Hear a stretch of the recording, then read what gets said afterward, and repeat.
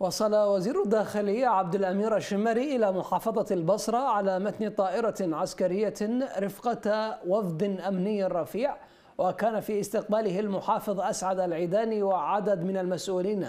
وقالت الوزارة في بيان إن الشمري وصل إلى البصرة من أجل تفقد الأوضاع الأمنية في المحافظة والوقوف على الإجراءات المتخذة في منفذي صفوان وشلامشة وأوضح أوضحت الوزارة أن زيارة الشمري للبصرة تأتي بهدف تعزيز الإجراءات الأمنية المتخذة من قبل الأجهزة الأمنية لتسهيل مراسيم إحياء ذكرى استشهاد الإمام الحسين في يوم العاشر من محرم الحرام.